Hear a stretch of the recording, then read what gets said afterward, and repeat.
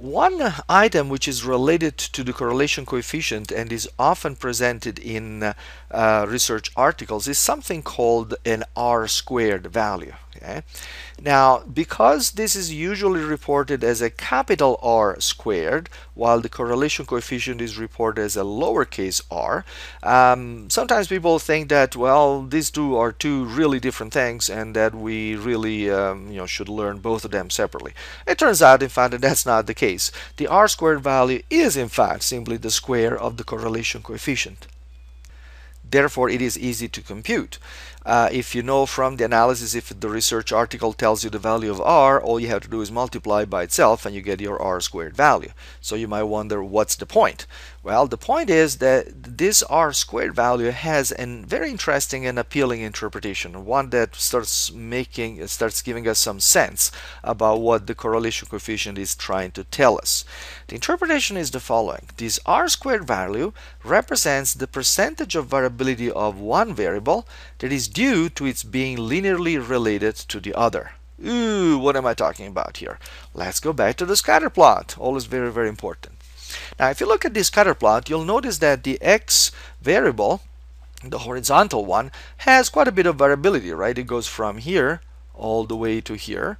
And similarly, the y variable goes all the way to here, from here, sorry. Ooh, that's a really interesting uh, line, isn't it?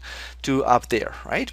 So both the x and the y variable actually have a lot of variability. But if you look at the pattern of the dots, you'll notice that really that pattern doesn't have a lot of variability, right? The data are all tightly placed along this narrow strip, right?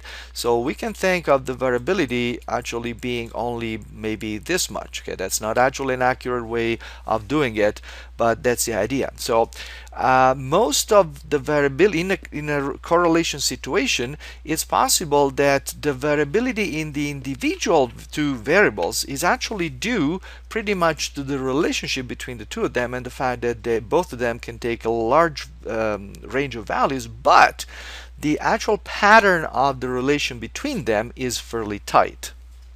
So this r squared value basically tells us out of the whole variability that we can see horizontally or vertically in a variable, what percentage of it is really due to the fact that the two variables are related and what percentage of it is actually left over as random variability okay?